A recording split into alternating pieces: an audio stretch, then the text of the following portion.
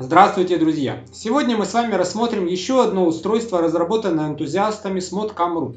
Это управляемое ZigBee реле, которое предназначено для коммутации мощных нагрузок с током до 16 А, а это почти 4 кВт, а также с возможностью энергомониторинга.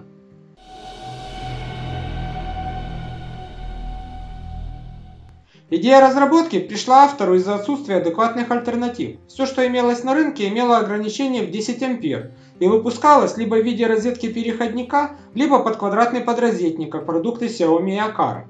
Как и предыдущие проекты, про которые я рассказывал в своих обзорах, на сайте modcam.ru можно найти все необходимые материалы для самостоятельного изготовления устройства, в том числе и сдвоенный вариант на две розетки.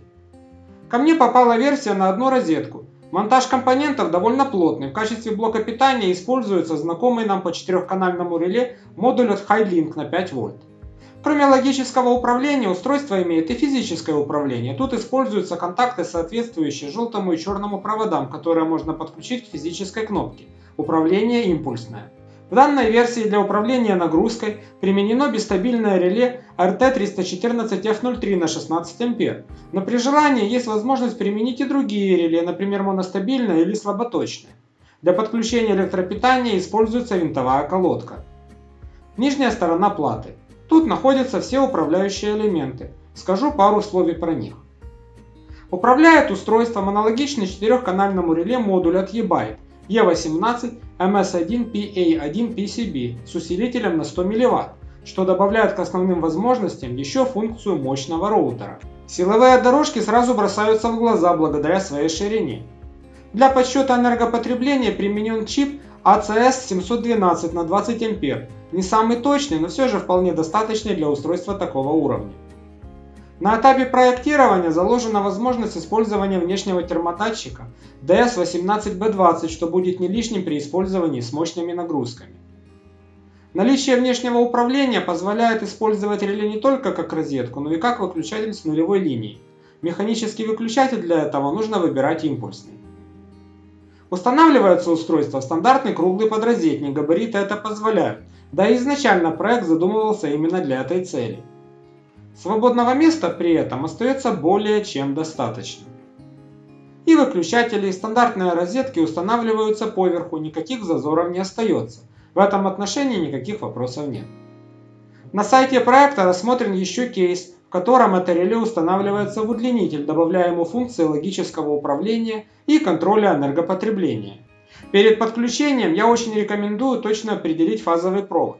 Если проводка разведена грамотно, то это коричневый провод, голубой 0. Но не лишним будет убедиться в этом при помощи индикаторной отвертки. На моем стенде фаза это красный провод, он подключен к центральному контакту колодки. Черный провод это 0, подключен к контакту, который ближе всего к краю платы. Фазовый провод нагрузки подключается к оставшемуся контакту колодки. Нулевой провод напрямую к сети, общий с питанием реле. Для сопряжения устройства сначала переводим ZigBee MQTT в режим добавления новых устройств. В этом тесте я подключал к стику CC2531. Затем нужно замкнуть желтые и черные провода относительно разъема это угловой центральный контакт. Держим замкнутыми некоторое время. Для индикации лучше подключить лампочку, она начнет мерцать.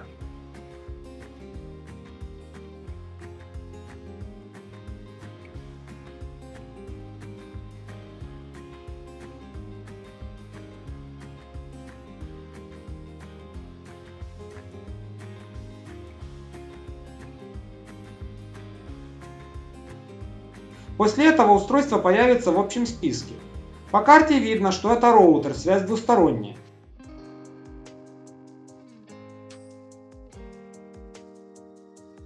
ZigBee to MQTT знает это устройство и отображает корректную картинку.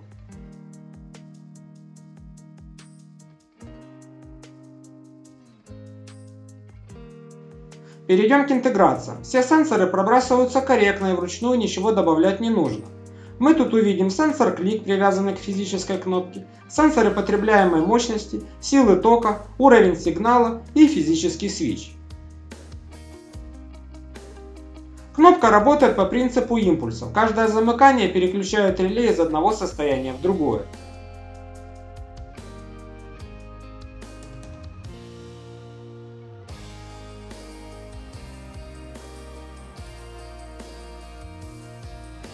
Этом статусы логических устройств, свеча и сенсоров потребления обновляются мгновенно, как при включении, так и при отключении.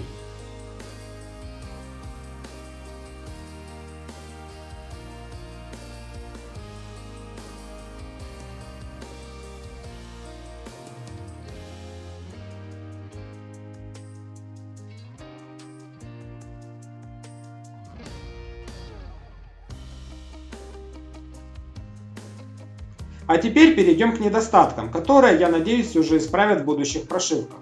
В первую очередь это таймлаг почти в минуту, после включения реле логически и обновлением показаний сенсоров. Это видео снято в режиме реального времени.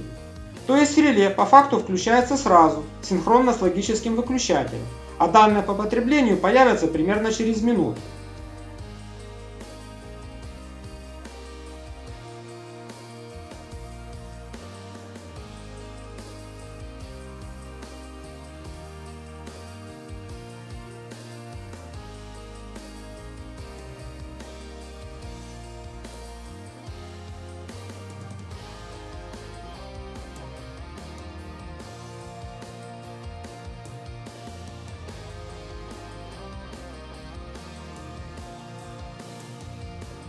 То же самое с выключением.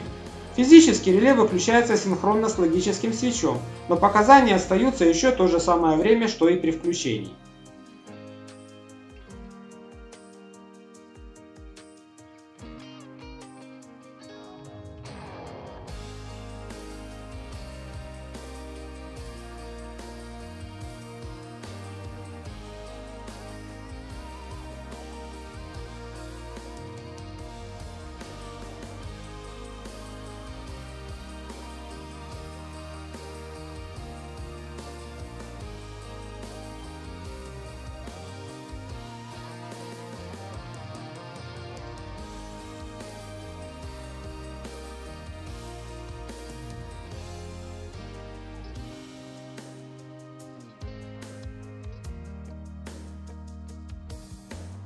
Это все происходит на уровне передачи данных от реле. Это можно увидеть и в топике MQTT.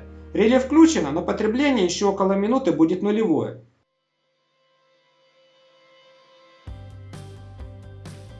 А как я показывал выше, этого не случается, если управлять реле при помощи физической кнопки.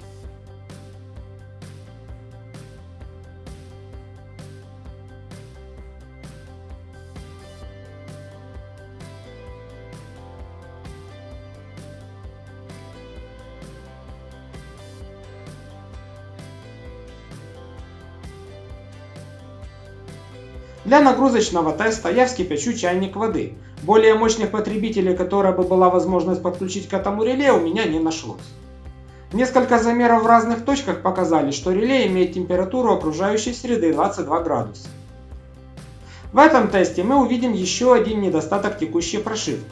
При включении реле без нагрузки потребление показывается на уровне 65 кВт, а сила тока почти 300 А. И только при включении нагрузки, в данном случае чайника, нагрузка становится адекватной, чуть более 2 кВт. Это, кстати, соответствует реальным значениям.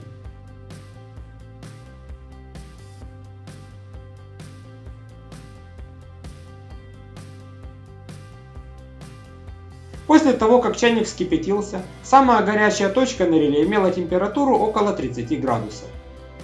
Как мы видим, на текущей версии прошивки это реле имеет смысл использовать только в тех случаях, когда имеется постоянная нагрузка, чтобы не было этого завышения на 65 кВт. Управлять им лучше всего при помощи физической кнопки, тогда показания сенсоров будут обновляться мгновенно. При логическом управлении нужно иметь в виду таймлаг, который происходит при обновлении сенсоров мощности и силы тока. Если все же прошивка будет доработана, то это реле будет отличным вариантом для управления достаточно мощными нагрузками, например, такими как бойлер или электронагреватель. На этом все. Если у вас остались вопросы, задавайте их в комментариях под этим видео. Если видео вам понравилось, ставьте лайки. Если вы не хотите пропускать новые выпуски, подписывайтесь на мой канал. Интересные новости, а также акции, распродажи и купоны по тематике умного дома можно найти в моем телеграм-канале. Ссылку вы найдете в описании под этим видео. До новых встреч!